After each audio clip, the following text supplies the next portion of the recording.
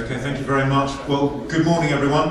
Uh, my name's Martin Lee. I'm the technical lead of security research at Talos, which is the threat intelligence and security research arm of, uh, of Cisco. And I had the great pleasure of working here in Belfast the last year for Alert Logic, so it's lovely to see so many friendly faces who I know in the audience and to be back in Belfast again, which is great. What I want to talk to you about today really comes from a, uh, a, a project of reflection. Um, I spent quite a long time working in security research and analysing malware and looking for attacks. And sort of, as you do on a, on a flight or on a long journey, start thinking, and start thinking, well, if I move to the bad side, and I actually started writing my own malware and conducting my own attacks, knowing what I do about detecting attacks, what would I actually do? And how would I go about uh, attacking systems and trying to find interesting things? And I think this is actually a really, really good point. If we are defenders and we're defending networks and hunting for attackers, it's often a good time to start thinking, knowing what I know about this system, what would I do? How would I attack it? And if I was going to attack it, how would I, as a defender, actually know that and be able to pick it up? So, the biggest thing that I really started thinking about was, yeah, using DNS lookups maliciously. And then, how would I, how would I know, how would I detect them? Are actually bad guys using this at the moment? So, Lockheed Martin have put together this cyber kill chain, supposedly to describe attacks, which got all these long and sexy words uh, in their weaponization and command and control, action on objectives, wonderful military style language. Um, for me, my own personal cyber kill chain, um, really, I, I, I, wouldn't bother too much about weaponization or command and control. For me, if I was attacking a system, it would be about getting inside it in some way.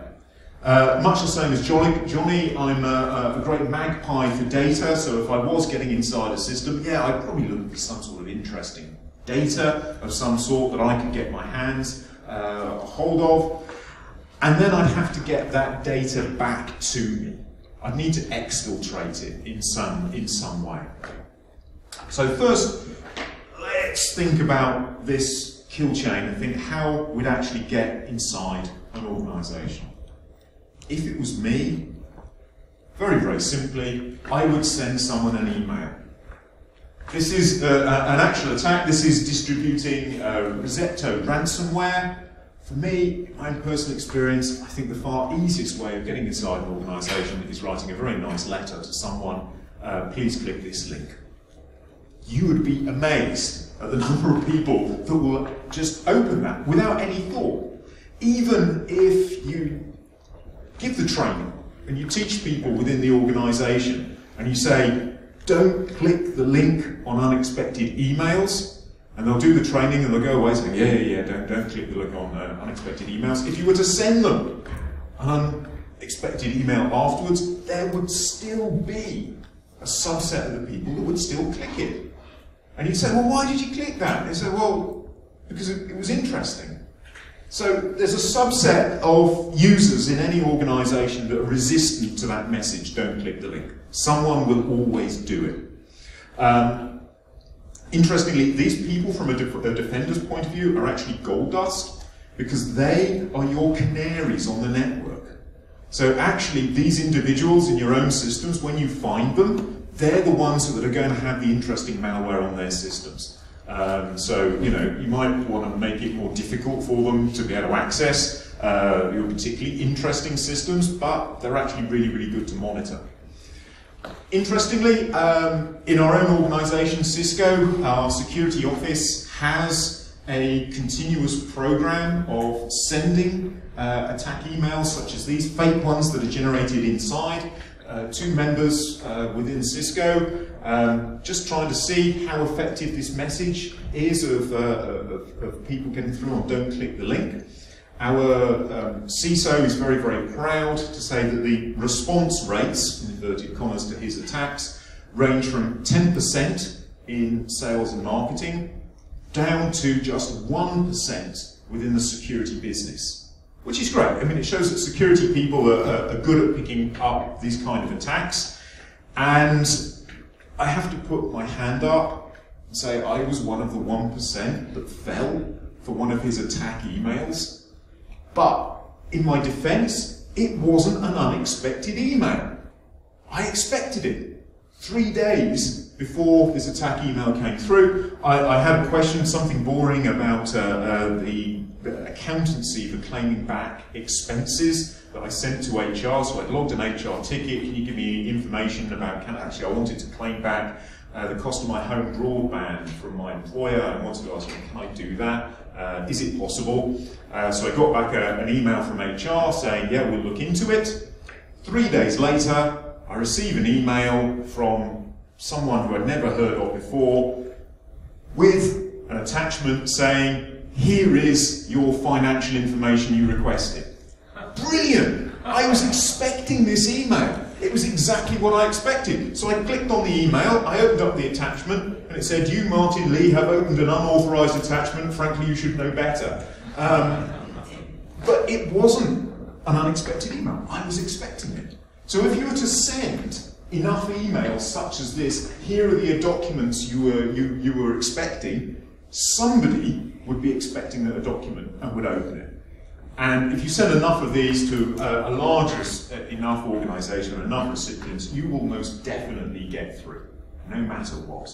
Um, we also spend in the industry a lot of time thinking about vulnerabilities and gentlemen next door talking about Internet of Things vulnerabilities. There's a lot of vulnerabilities out there. Writing software is difficult, and if there's a bug in the software, there will be something which we can uh, exploit, something we can use to get inside an organization.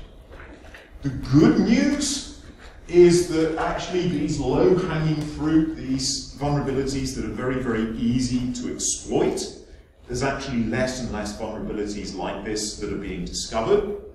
The bad news, yeah, we're still looking at about 30% of all vulnerabilities are network accessible, low complexity, and require little in the way of authentication. But I would go back, if I'm attacker, frankly, I'm going to go through the uh, easiest way in, and to be honest, I'm really, really unlikely to spend time writing some sort of complicated exploit to uh, uh, try and trigger one of these vulnerabilities. Personally, I would just send the email. Nevertheless, there are an awful lot of these easy to exploit vulnerabilities that are out there.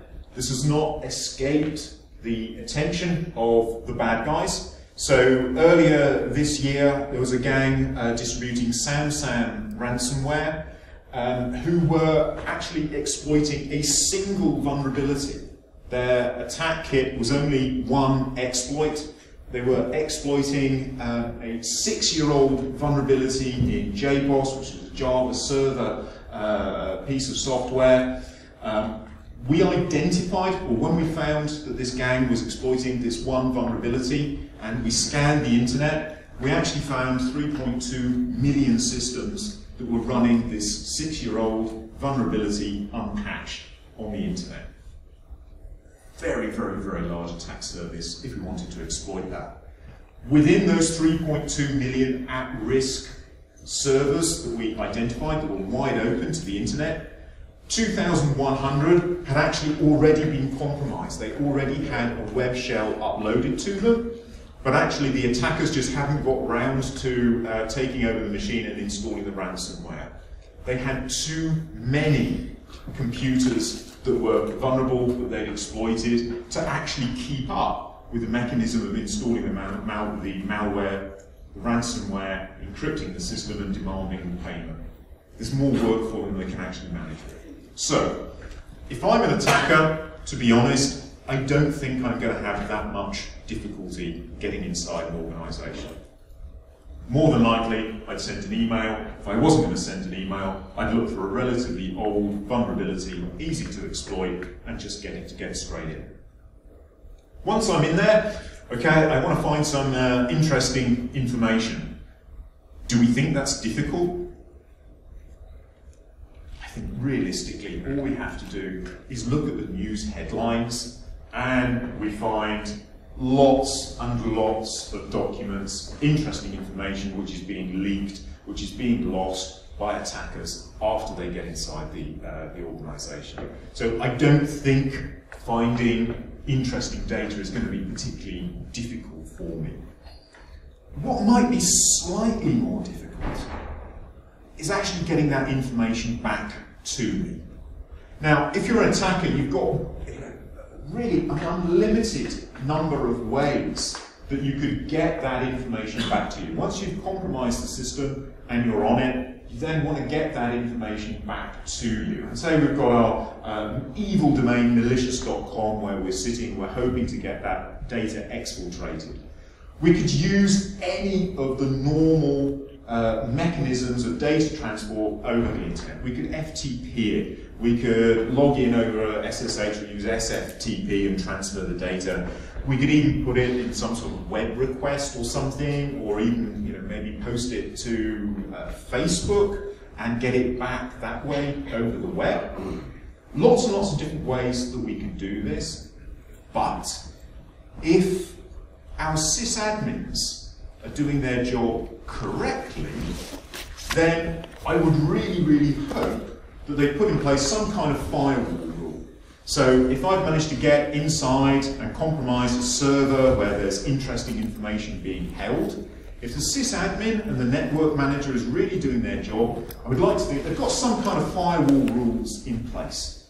That this machine, because it's a server, because it holds sensitive data, you can't just FTP it out anywhere.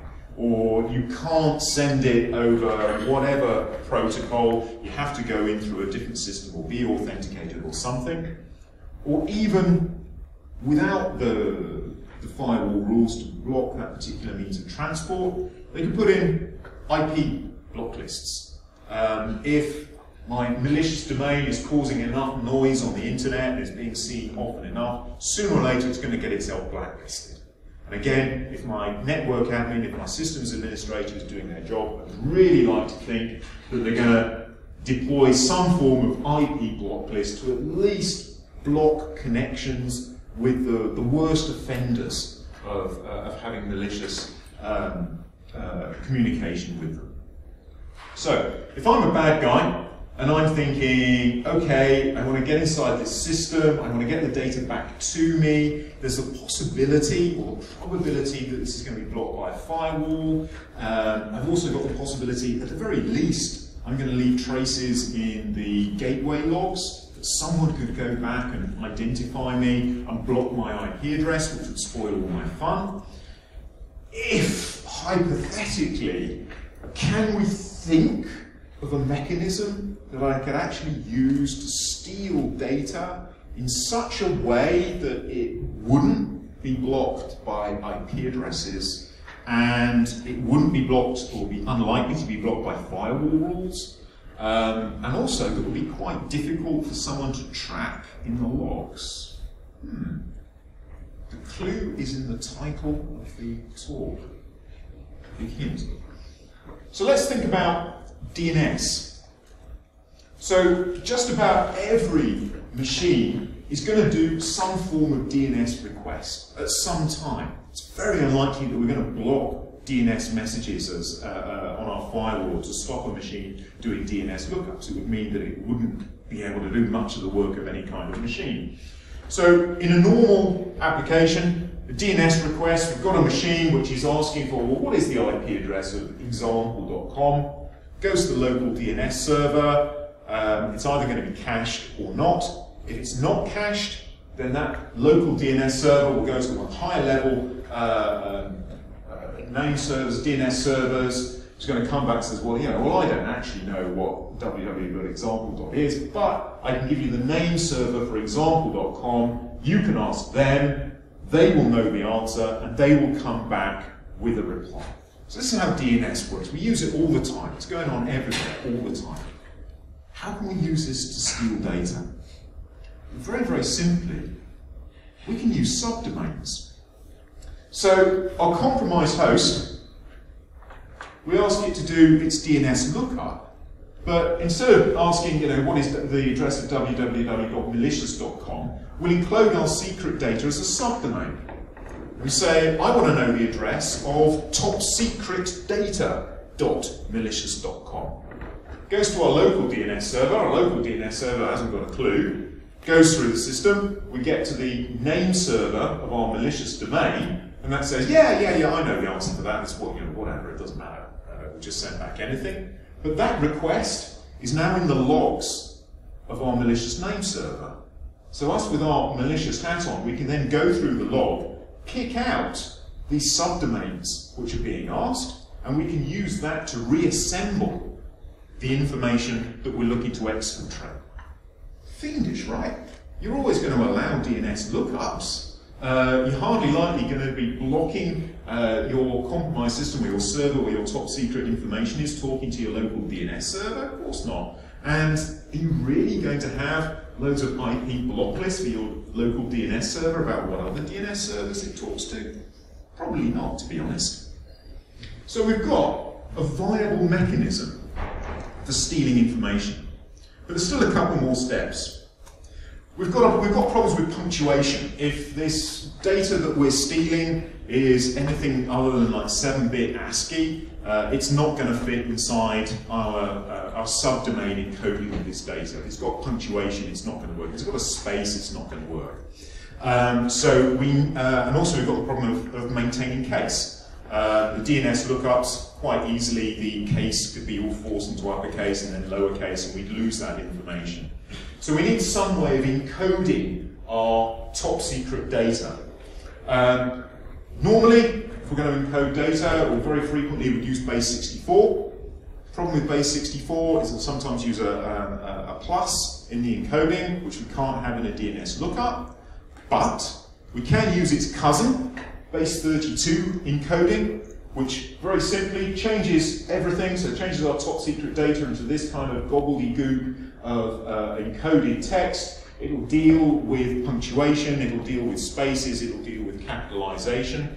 Even if our base 32 encoded string gets changed into lowercase, well, we can easily change it back again into uppercase, and we won't lose any information.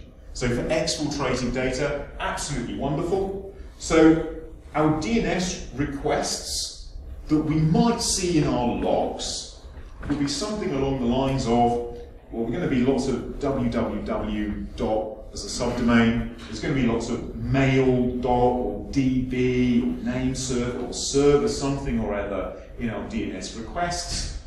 And there's also going to be this long string of base 32 encoded data.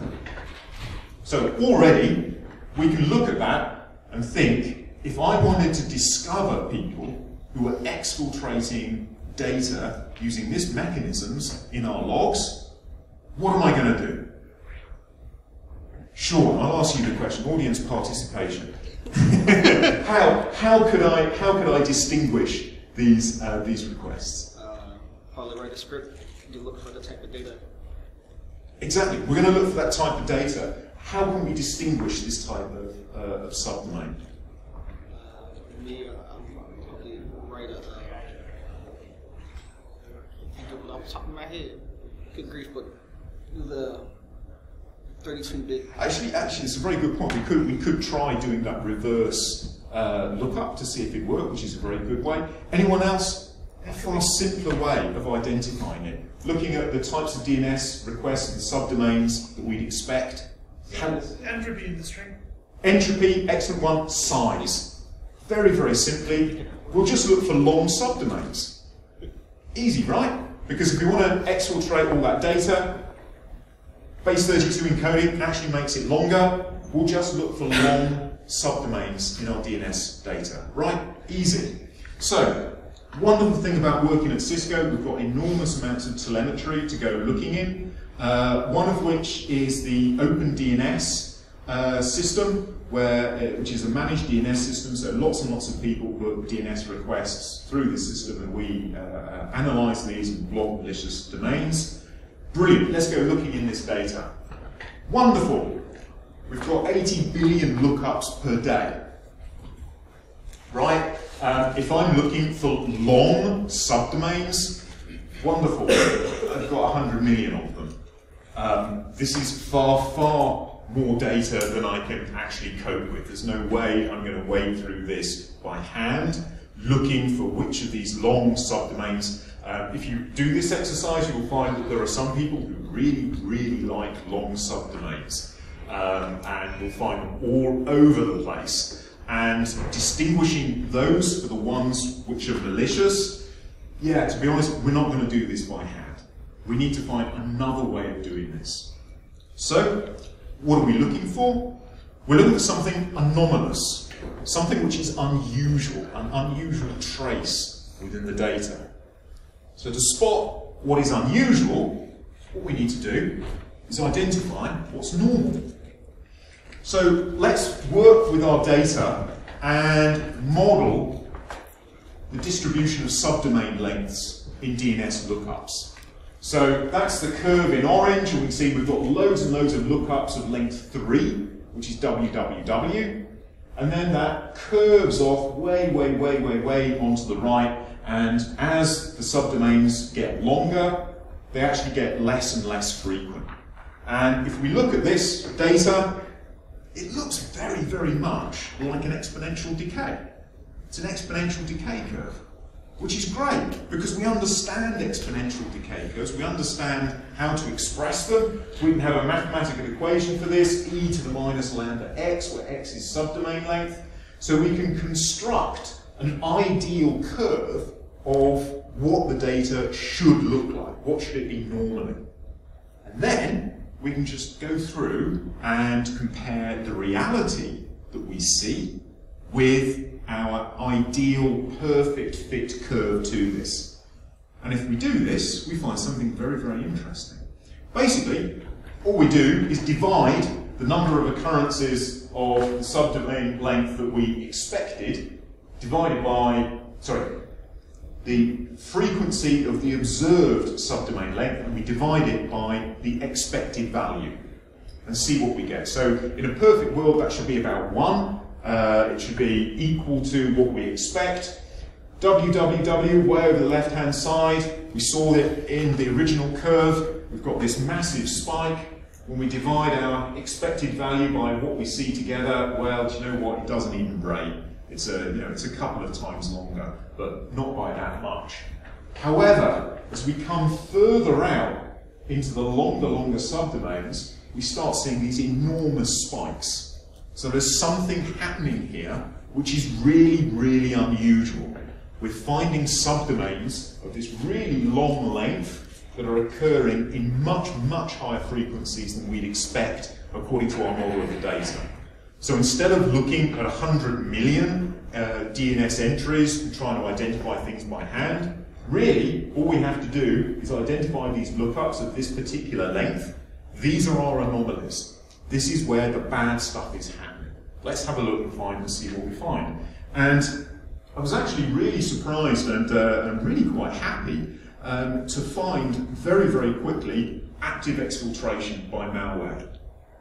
Uh, Multigrain is a, a point of sale malware and it exfiltrates credit card details in exactly the same way that I've described takes the credit card number and the PIN, base32 encodes it, puts it in a DNS lookup, does the DNS lookup, the bad guy is owning the name server at the end, collecting the logs, doing the reverse, and finding the credit cards. Uh, absolutely fiendish way of doing it, exactly the same way that I'd go about doing it. Here it is, we see it happening in the wild. Um, I found this whole pattern of, um, of lookups that, that really I didn't quite understand what was happening.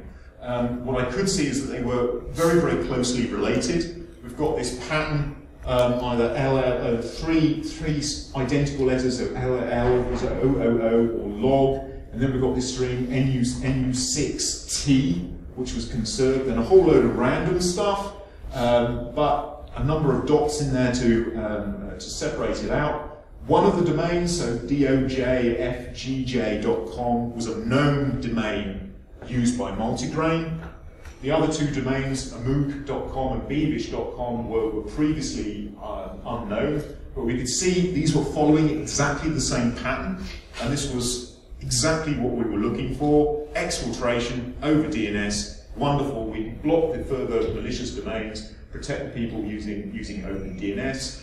The malware itself, it cuts its information up into different chunks. The first subdomain is a machine identifier, and then the next bit in the middle, which I've cut out in case someone actually works out what the uh, encryption is, they take the credit card details, encrypted it, base32 encoded it, and exfiltrated it over DNS. Wonderful, evil stuff, absolutely superb. Um, once we've got those domains, we can then go back to our data and see what else is happening. And we find further traces with these same malicious domains. So there's two patterns. We've got a very, very long lookup, which is exfiltrating the credit card data.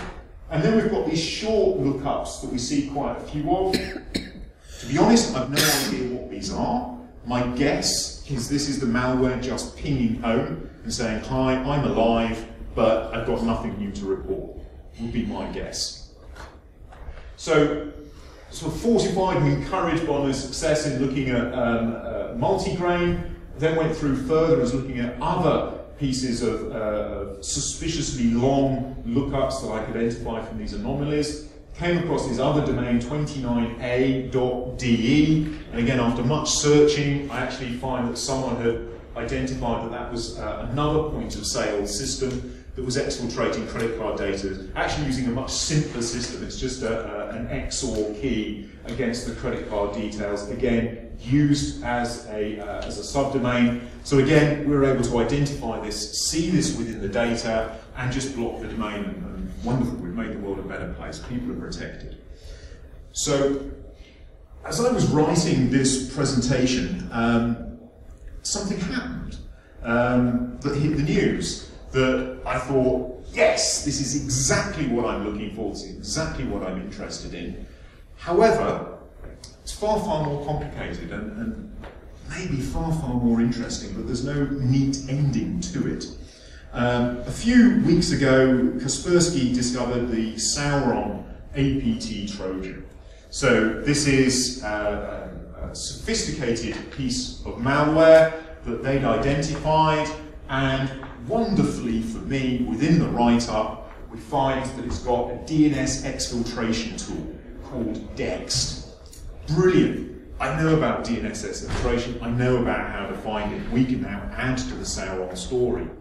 Also, from the code that they've published, we've got these snippets of code found within the, uh, the Trojan doing base 32 encryption. Brilliant. We know about the base 32 encryption. We know exactly what this looks like. We've got the pattern that we can search for. Even better, they'd identified the domain that the bad guys were using, bikesport.com. So, although we don't know what many of these components actually do, we can start making some good guesses. There's something to do with DNS exfiltration. It's almost certainly going to be via a lookup. We also know that it involves base 32 encryption. Brilliant, we know what that looks like. And we also know the domain that they've been using. So this has got to be really, really easy, right? Um, let's look in our data. Let's try and identify something a bit more about this domain. It's actually owned by what looks like, and what I have no reason to doubt, is a legitimate reseller of domains. So I was expecting to find the name server under the control of a malicious entity or held on a, some sort of secret network somewhere. No, they're using a domain reseller. Okay, why not? It's kind of interesting. Um, this particular domain, bikesport.com, was on these had these two name servers, domainnameavailable.com, and there were 600 other domains that were also had shared the same name servers. So potentially they might just have chosen bikesport.com for this one attack and perhaps picked one of the other domains that was being offered by this domain server for the rest of their attack. Also, domainnameavailable.com, its name server was namebrightdns.com, and these four name servers shared the same IP space. They were obviously very, very close together. So I thought, well, okay, let's just look, and we'll do the same experiment that we did looking for the lengths of the DNS for these four servers and see what we can find. Let's look at the lengths of the subdomains that are being used. Um, interestingly, we found no trace whatsoever of bikesport.com in our telemetry. Uh, nothing. So, suggesting perhaps the bad guys were actually had been very careful to cover their tracks so that they weren't leaving traces in the telemetry that we had available to us. But they weren't that careful because we found this wonderful peak of lengths of subdomains, 10 characters long. Far, far more of these 10 character long lookups than we'd expect. So I thought, absolutely wonderful, here we are, end of the story, they're doing their exfiltration by 10 character length subdomain lookups. So let's look at some of these lookups. So we've got sort of a few types of, uh, of words in there that we might expect for a DNS lookup. We've got timesheets, we've got wallpapers, sales admin, lesbians, exactly the type of subdomains that you'd expect will be used on the internet.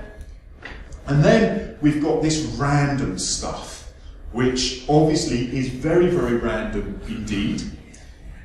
Interestingly, it's not going to that domain that I expected it to. It's actually going to the name server of the name server of the domain which has been found in the malware.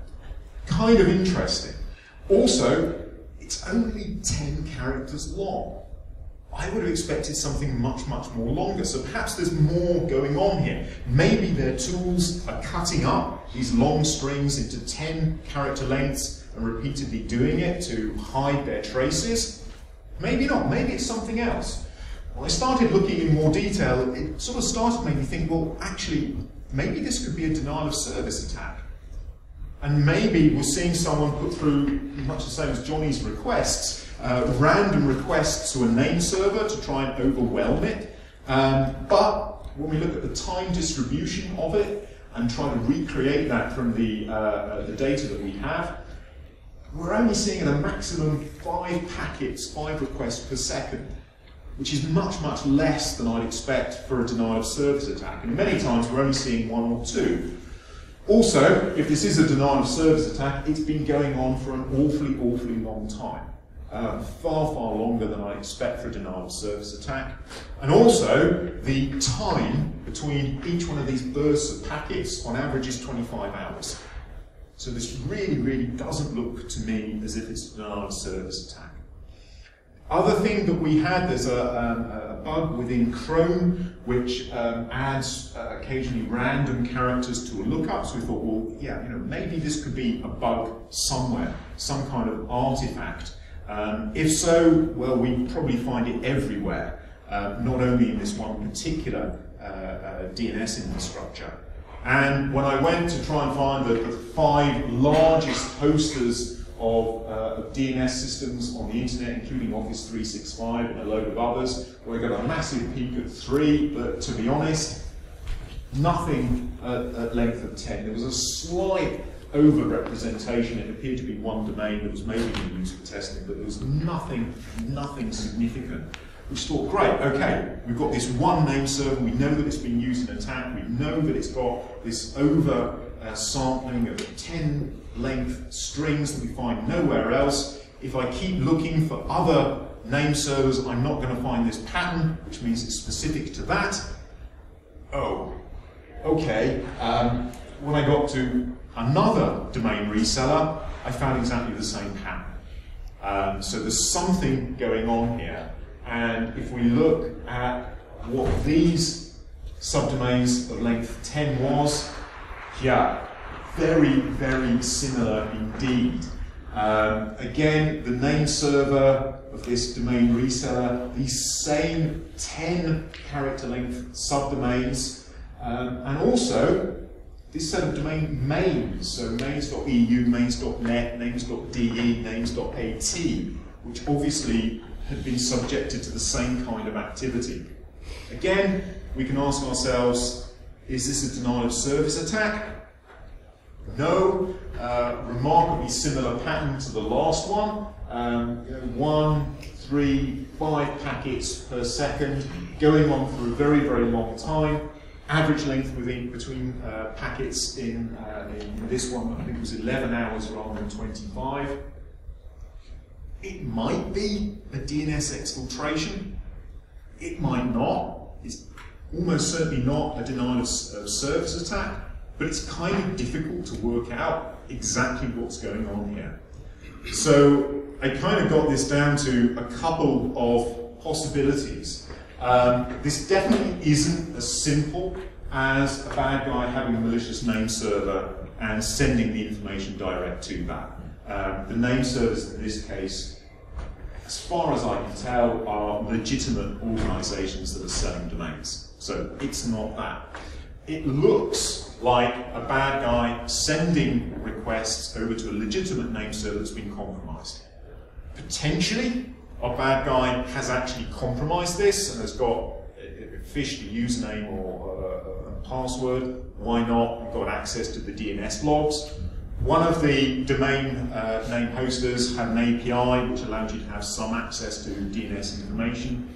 Potentially, there's the possibility that that API, that the attacker might have been able to compromise the API in some way and get access to the raw logs. I have no idea.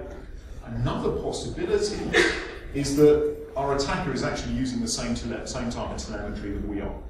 And they're actually somehow sniffing the lookups that are going to the legitimate name server and just doing that intercept and holding that information and recreating it.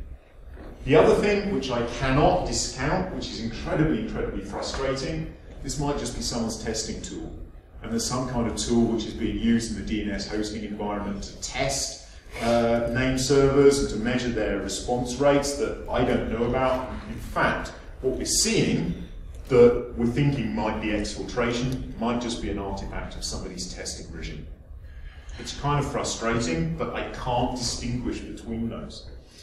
But it makes quite a good example of how sometimes when you think you're looking for something, um, you don't actually find it. You find something that kind of looks like it, but you need to keep your mind open to the possibility that what you're seeing isn't necessarily what you expect to see. So to try and bring this up into some sort of conclusion, um, if you're only going to remember one thing, please remember that DNS lookups are a viable exfiltration mechanism. We can use this as a mean to steal data, and bad guys are actively doing this at the moment. So if you're defending systems, think about monitoring your DNS traffic and look at the things which are unusual. Um, another thing to keep in mind, if you are hunting for DNS exfiltration, consider other options. What you see might not be necessarily what it is that you're looking for, and to remember to a man with a hammer, everything looks like a nail.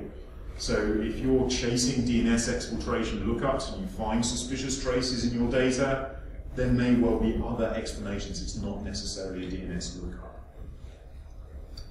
In terms of advice and what you can actually do about this, I, I think mainly it's about asking yourself a few questions. One, the first place that you want to look up is your DNS logs. Where are they going to be housed? on your local DNS server somewhere. First question I'll ask you, well, how many do you have? And then the next question is, well, why do you need so many?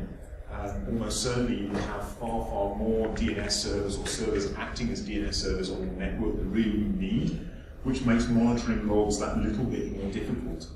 Once you've got those logs together, I think the next thing is really to ask the question, well, what system made the most DNS lookups last week?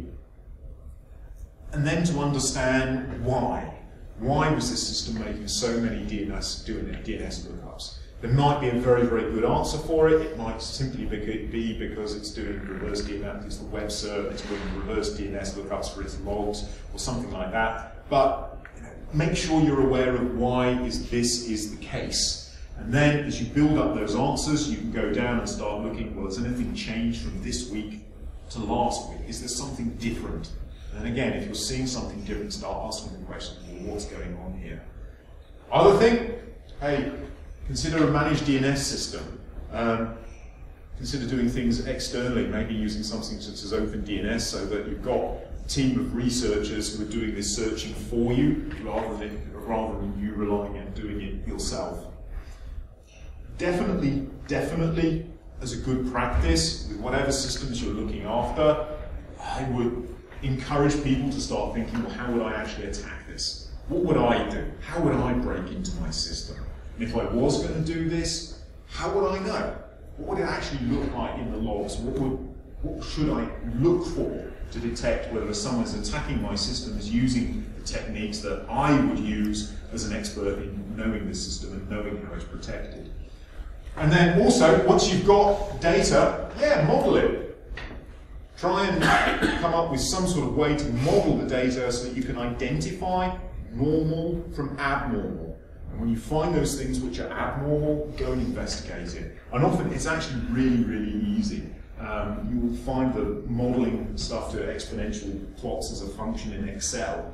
Uh, basically, all you need is uh, Excel, create a graph, look at what you can be measured, uh, maybe look at lengths of things, rates of changes, changes of things, look what kind of graph it looks like, get Excel to model it, and then you can divide your perfect line by your observed line and look for the, for the values which are most different. Those are your anomalies. That's where you want to start looking for, for interesting things happening on the network. Just to conclude, um, part of Talos, Talos is the threat intelligence and security research branch of Cisco. In our own work, we've got five different branches. We've got threat intelligence, who are actively there looking for attacks and information such as this within our telemetry. The, the action intelligence that they find, they pass on to the detection research team, who are the guys who are turning that actionable intelligence into detection logic, which is then going out into the various engines that we support um, in Cisco security products. Also, the software engineers who write those engines are also within uh, Talos themselves, so we control all of the bits of detection. We've also got a team who are doing vulnerability research and development looking for zero days um, in various pieces of software. If you've had a, uh, an update to your uh, Apple system over the past uh, couple of days, that was our fault. We found a whole load of zero days in Apple. We always work with the vendor in order to make sure that uh, these things get fixed and patched uh, before we talk about them. But very, very much we think part of our, our mission is to uh, make the internet a better place. And one of the best ways that we feel that we can do that is by looking for zero days and getting them patched so that we're finding the vulnerabilities before the bad guys. We also have outreach, of which I'm a part. Our role is to both to go and look in the threat environment and, uh, and find the new techniques that are being used out there, but also to externalize that and do uh, talks such as this so that people understand the types of threats that are out there. We also say we are hiring. If you're interested, come and have a chat. Um, the nature of the, of the data that we have, we've got 16 billion web requests in our telemetry that we can analyze. We get 600 billion emails coming into our honeypot system, which we can analyze. And we also have 3.4 billion request queries, which are going to our advanced malware uh, protection system, where we will get an awful lot of copies of malware to analyze as well. Um, with that, I'd just like to say, please, please, please follow our research. We've got our own website, we've got a blog which you can subscribe to. You can follow our Twitter. I must also thank uh, Jason Schultz and uh, Warren Mercer who helped enormously uh, with the work that I've uh, presented to you. And with that, I shall thank you very much and open up to questions.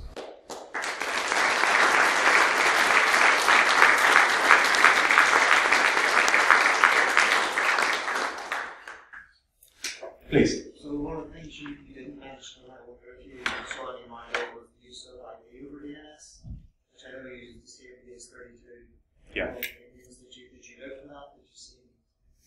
Uh, yes, I found um, there's a yes is the, is, is, is the short answer. Um, it wasn't particularly what I was looking for. I went out specifically looking for uh, pieces of malware exfiltrating data. Um, there's certainly there's a few um, pieces of software doing um, tunneling over over DNS. We found traces of those as well. So I was um, I was satisfied that we'd be able to identify it if we looked at it, but it wasn't something that I was specifically looking for. but yes, we, we, we can find traces of it. Actually, it, it's, it's really interesting. In terms of the false positives, there was um, lots and lots of um, anomalous DNS entries that I could identify that I couldn't tie back to malware. Um, uh, a lot of people seem to be using DNS lookups to verify uh, licenses for software.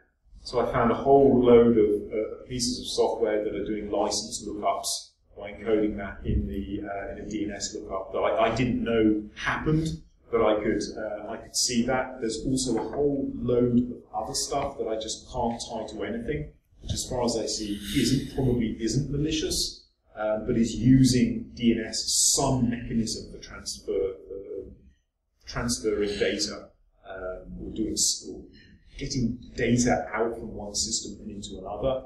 Um, a whole load of it doesn't look suspicious, but to be honest, I have no idea what's going on.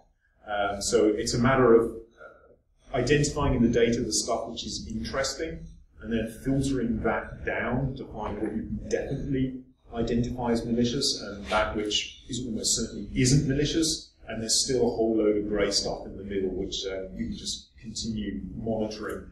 Um, I think it's probably easier if you're defending your own network because you could put in a block maybe for this and then see what stops working if you really wanted to, or to try and tie it back to find what machines are making these requests. Uh, in the telemetry that we have, we don't have that. We've got all about amalgamated stuff, so we can only observe without necessarily understanding what is making the request. But it's still interesting. I think it's very, it's a very good exercise to go through at least. Any, any other questions?